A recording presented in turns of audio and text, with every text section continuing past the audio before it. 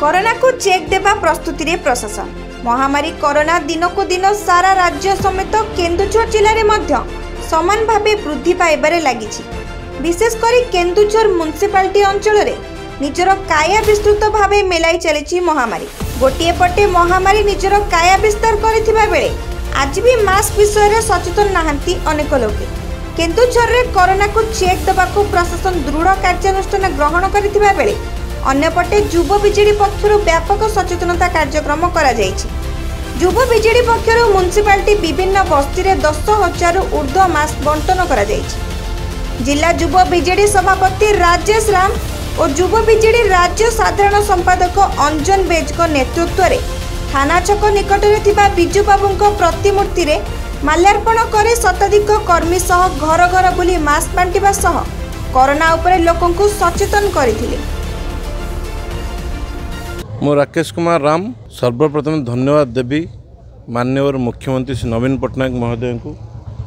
ଆପଣମାନେ ଜାଣିଥିବେ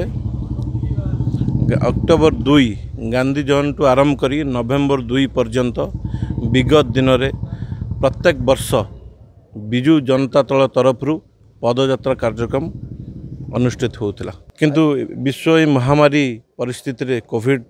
ଟାଇମ୍ରେ ସେ କାର୍ଯ୍ୟକ୍ରମକୁ ଏକ ନୂତନ ଢଙ୍ଗରେ ରୂପାନ୍ତରିତ କରିଛନ୍ତି ମାନ୍ୟବର ମୁଖ୍ୟମନ୍ତ୍ରୀ ଯେଉଁ ନିର୍ଦ୍ଦେଶ ଯେଉଁ ଆହ୍ୱାନ ଯେଉଁ ବାର୍ତ୍ତା ଦେଇଛନ୍ତି ସେ କାର୍ଯ୍ୟକ୍ରମ ନାଁ ହେଉଛି ଜନ ସଚେତନତା କାର୍ଯ୍ୟକ୍ରମ ଏଥିରେ ବାର୍ତ୍ତା ରହିଛି ସହରଠୁ ନେଇ ପଲ୍ଲୀ ପର୍ଯ୍ୟନ୍ତ ସମସ୍ତ ଜନସାଧାରଣ ପ୍ରତ୍ୟେକ ଜନସାଧାରଣଙ୍କ ପାଖରେ ଆମେ ପହଞ୍ଚିବୁ ବିଜୁ ଜନତା ଦଳର ନେତୃବୃନ୍ଦ ପହଞ୍ଚିବେ ସମସ୍ତ କର୍ମୀ ପହଞ୍ଚିବେ ଜନସାଧାରଣଙ୍କ ପାଖରେ ପହଞ୍ଚିକି ଆମେ ମାସ୍କ ମଣ୍ଟନ କରିବୁ ସାନିଟାଇଜ୍ କରିବୁ ବାର୍ତ୍ତା ଦେବୁ ସୋସିଆଲ୍ ଡିଷ୍ଟାନ୍ସ ମେଣ୍ଟେନ୍ କରିବା ପାଇଁ ସୁସ୍ଥ ରହିବେ ସୁରକ୍ଷିତ ରହିବେ ଏହି କାର୍ଯ୍ୟକ୍ରମର ମୂଳ ଲକ୍ଷ୍ୟ ଆଗାମୀ ଦିନରେ ବିଜୁ ଜନତା ଦଳର ବିଭିନ୍ନ କାର୍ଯ୍ୟକ୍ରମ ନେଇ ଗଣମାଧ୍ୟମକୁ ମଧ୍ୟ ସୂଚନା ଦେଇଥିଲେ ଏହି କାର୍ଯ୍ୟକ୍ରମରେ ସାଂସଦ ଚନ୍ଦ୍ରାଣୀ ମୁର୍ମୁ ଚମ୍ପୁଆ ବିଧାୟିକା ମୀନାକ୍ଷୀ ମହାନ୍ତ ଜିଲ୍ଲା ସଭାପତି ମାଧବ ସର୍ଦ୍ଦାର ଜିଲ୍ଲା ସମ୍ପାଦକ ଦେବ ପଟ୍ଟନାୟକ ପ୍ରମୁଖ ଉପସ୍ଥିତ ରହି କର୍ମୀଙ୍କୁ ଉତ୍ସାହିତ କରିଥିଲେ କେନ୍ଦୁଝରରୁ ତ୍ରିନାଥ ଚରଣ ମହାନ୍ତଙ୍କ ରିପୋର୍ଟ ଫୋକସ୍ ପ୍ଲସ୍